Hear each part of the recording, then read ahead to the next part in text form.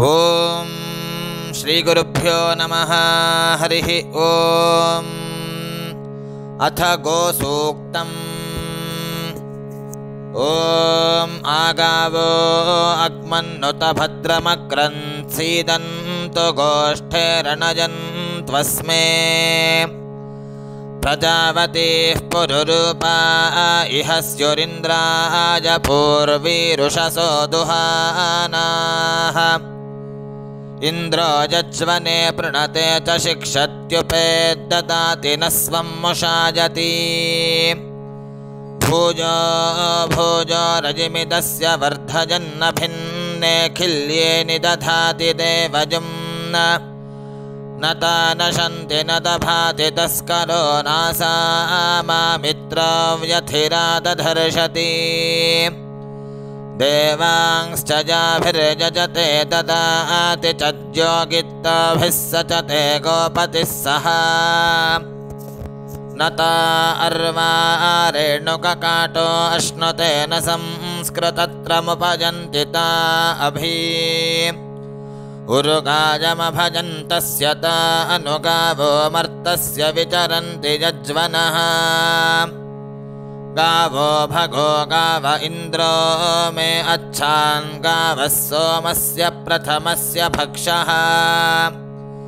इमाया गावः स जना स इन्द्र इच्छामि द्वृता मनसा चिदिन्द्रम्।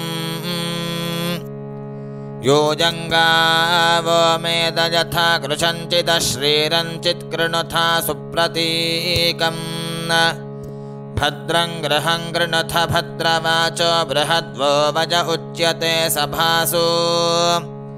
प्रजावती सूजवसं वृषन्ति शुद्धा अपस्सु प्रपाणे पिबन्ति मावस्तेन ईशतमाघशं सः परिवोहेति रुद्रस्य वृज्याः उपेतमुपपर्चनमासु गोषोपपृच्यताम् उपऋषभस्य रेतस्युपेन्द्र तव वीर्ये।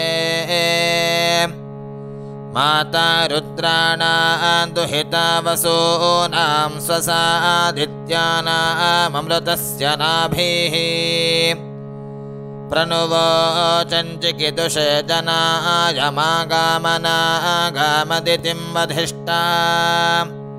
वचोवितं वाचमुदीरजन्तीं विश्वाभिर्धीर्भिरुपतिष्ठमानाम्। देवीं देवेभ्यः गामावृक्तमर्यो दभ्रचेताः मयो भूर्वातो अभिवातोस्रा ऊर्जस्वतीरोषधीरारिषन्ताम्।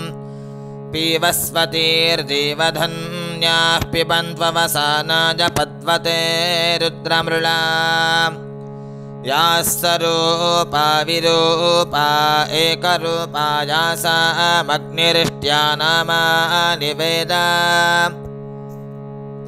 या अङ्गिरसस्तपसेह चक्रुस्ताभ्यः पर्जन्यमहि शर्म यच्छा। या देवेषु तन्वा अमैरजन्तजासां सोमो विश्वारूपाणि वेद। ता अस्मभ्यं भजसा पिन्वमानाः प्रजापतिरिन्द्रगोष्ठेरिरीः प्रजापतिर्मह्यमेताररानो विश्वैर्देवैः पितृभिः संविधानः। शिवाः सतीरुपनो गोष्ठमाकस्तासां वजं प्रजया संसदेम हरिः ॐ